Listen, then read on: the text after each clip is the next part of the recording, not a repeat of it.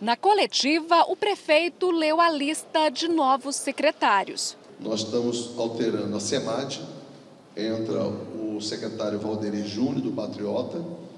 Na Getu, entra Danilo Alvino, que é do PDT.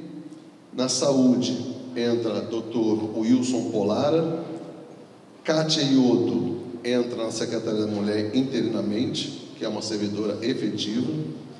No IMAS entra o doutor Marcelo Marques Teixeira, Procuradoria entra o doutor José Carlos Issi, e no escritório Prioridades e Estratégias entra é, o Michel Magu prefeito disse que não teve problemas com nenhum dos secretários anteriores que motivassem as mudanças, mas quer uma nova forma de atuação e também mais técnicos nos cargos para atender melhor às demandas da cidade. Uma das mais urgentes é na área da saúde, para resolver, por exemplo, a situação das maternidades. Por isso que tem entre esses é o doutor Duval que vai permanecer até o final do mês de setembro para justamente é, trazer ou buscar uma solução para esse assunto, para que nós possamos então compreender melhor sobre a Fundac, qual a questão da Fundac.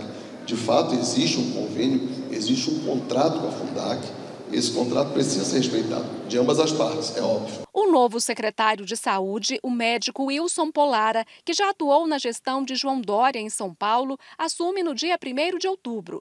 O prefeito disse que chegou até ele por indicação de amigos e que Polara apresentou números que o fizeram definir pela escolha. Eu fui atrás, tive uma boa reunião com ele, muito positiva. A primeira reunião que eu falei com ele, se ele haveria ter interesse, ficou de fazer um estudo e na segunda visita a ele, ele já me mostrou um relatório todo da Secretaria de Saúde de Goiânia junto ao Ministério de Saúde.